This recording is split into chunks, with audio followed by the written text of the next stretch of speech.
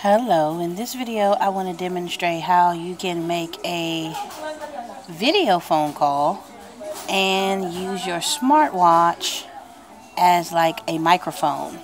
So you can actually make a hands-free um, video call.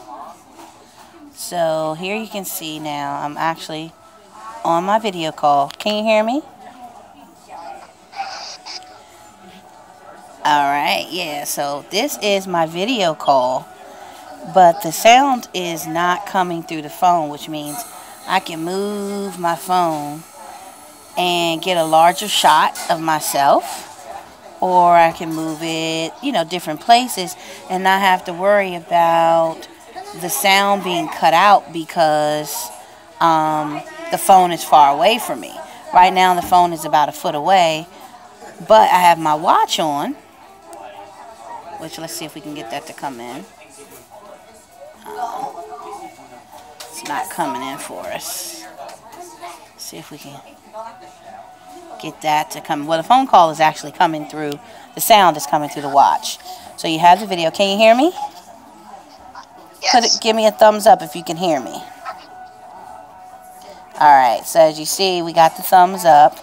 And I'm talking on my watch with the phone being uh, away. So that's actually something that I did with my mom yesterday. Didn't know that that was actually possible. But of course, I was talking to her on my watch and then she started the video call.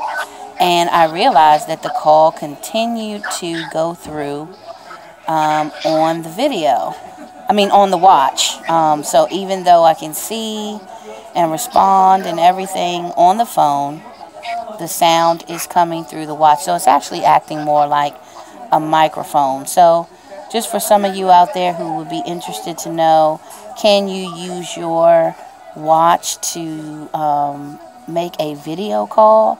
The answer to that is yes. Called you from earlier? Right.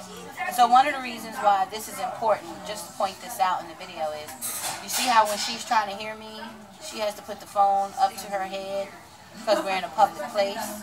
Well, the thing about that is when you have it connected to the watch, you don't have to do that, and so you can keep the video call going without having to move the video, and yet you can still hear and be heard in the video call. And so I hope that this video helps someone. Thank you for watching. Bye-bye.